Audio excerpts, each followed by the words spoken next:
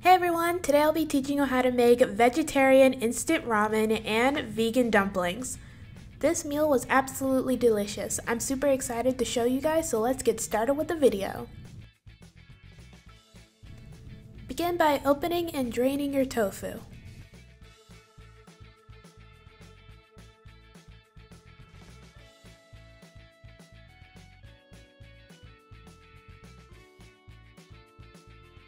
Lay some napkins over a dish towel.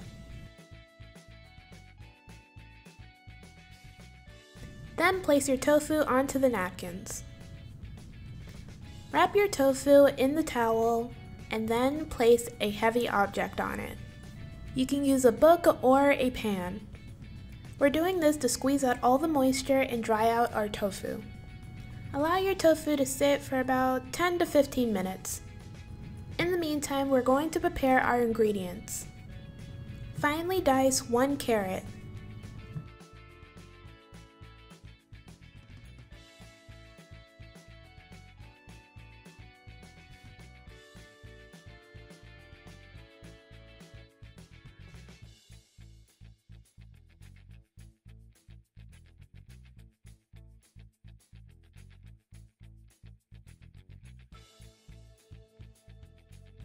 Then dice some green onions.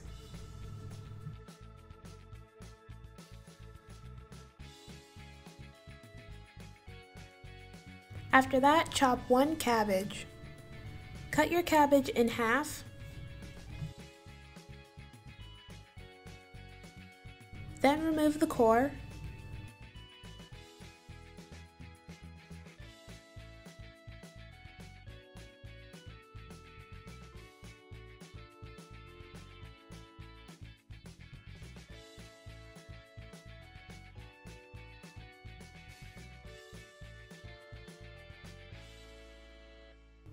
Then begin chopping it.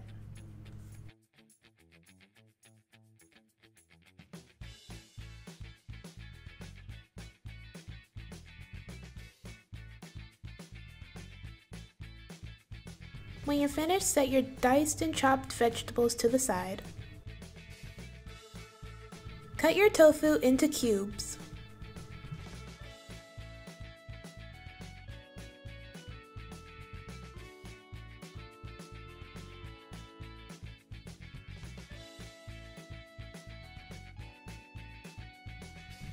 You're finished, split your tofu in half.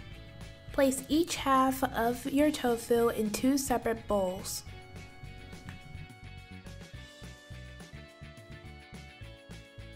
Now we're going to begin making our dumplings.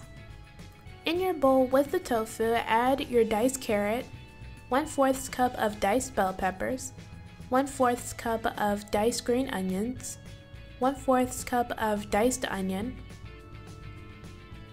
and 1 cup of your chopped cabbage. Then mix everything together until well combined. By the way, it's easier if you mix it up with your hands.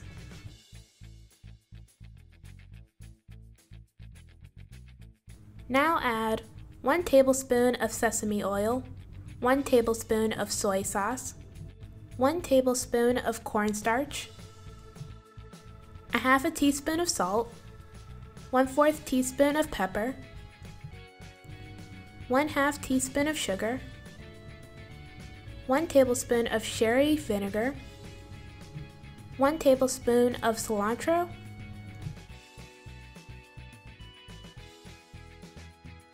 and 1 tablespoon of minced garlic. Mix everything together until well combined. When you're finished, set your bowl to the side. Now taking some wonton wrappers or dumpling wrappers, we're going to make our dumplings. The ones I get come out square, so I usually have to shape them so they're round. I usually do this with a cookie cutter or a knife.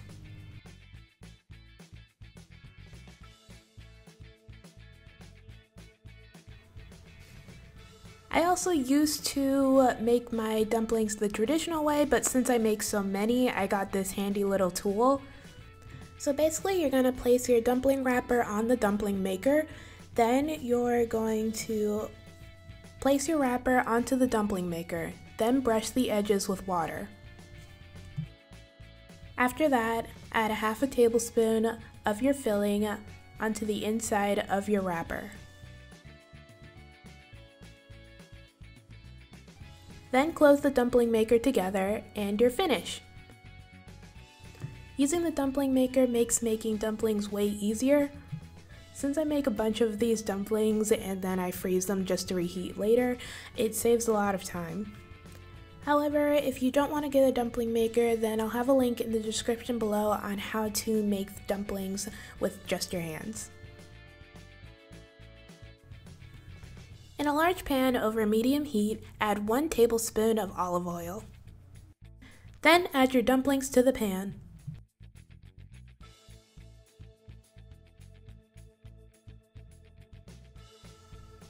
Let your dumplings cook for 4 minutes. Usually after the 2 minute mark, I like to flip my dumplings on their side to cook.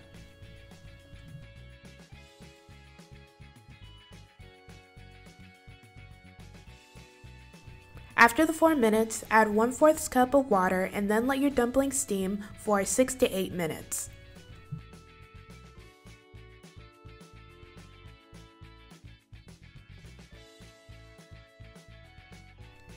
Once your dumplings are finished cooking, place them on a paper towel covered plate.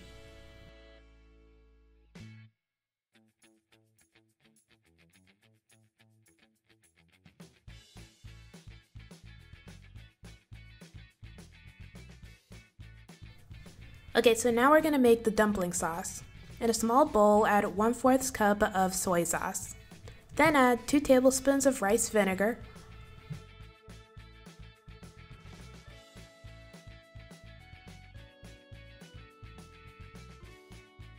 1 tablespoon of chili garlic sauce, some sesame oil, and some green onions. Mix everything until well combined.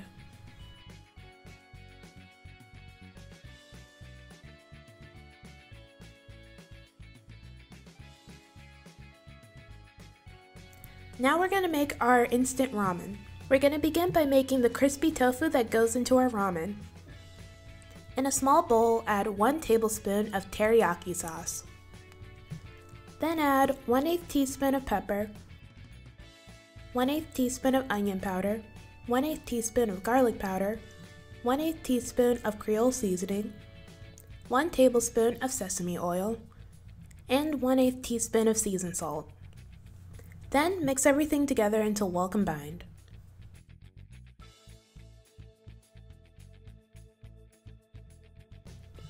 Remember that tofu we split into two bowls? Well, get the other bowl and pour your mixture over it. Stir your tofu into the mixture until your tofu is completely coated in the mixture.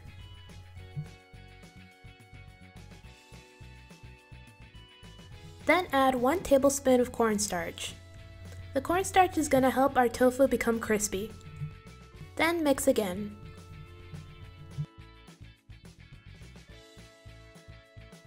When you're finished, place your tofu on a baking sheet.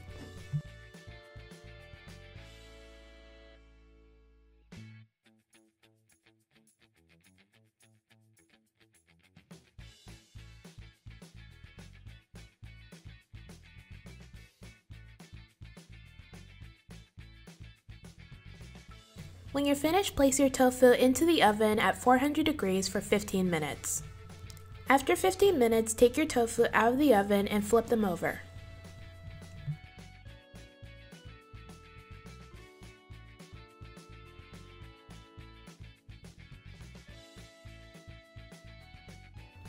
Then place them back in the oven for another 15 minutes.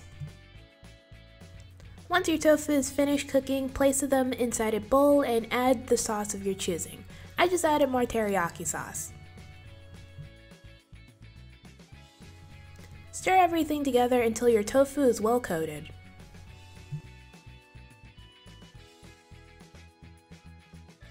When you're finished, set your tofu to the side. Then take the instant ramen of your choice. I'm using this one because I think it's the best. It tastes awesome.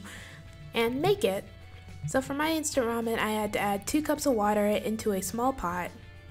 Bring it to a simmer and then add my noodles and let the noodles cook for 4 minutes. Add the soup packet in a bowl.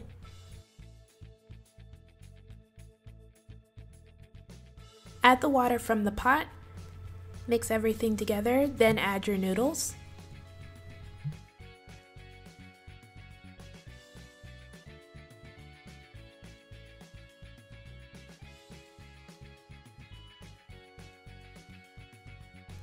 After that, add your toppings. I added corn,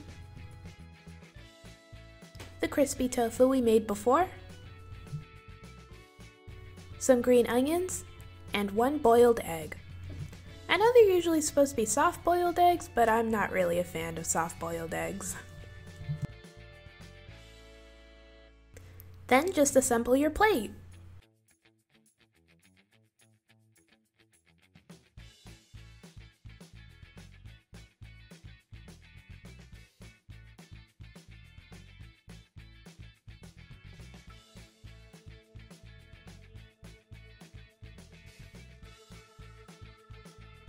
I also added some chili oil to my ramen.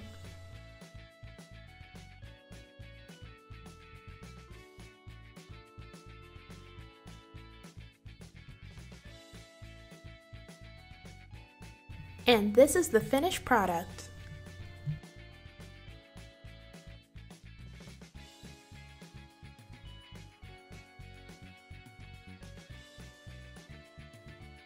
This meal is absolutely delicious. It was so good.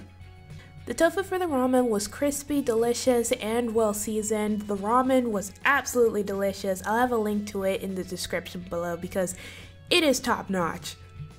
The dumplings were really, really good, and especially with the dumpling sauce that I made, it just makes it 10 times better.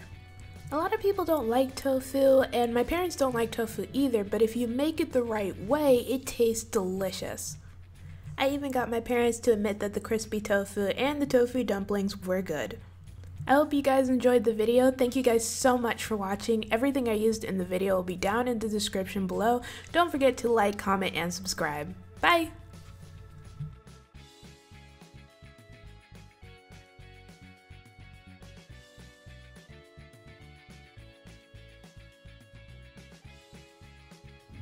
By the way, when I make a bunch of dumplings and I freeze them, I'll place them on a baking sheet and then put them inside the freezer for an hour, and then put the dumplings in a Ziploc bag.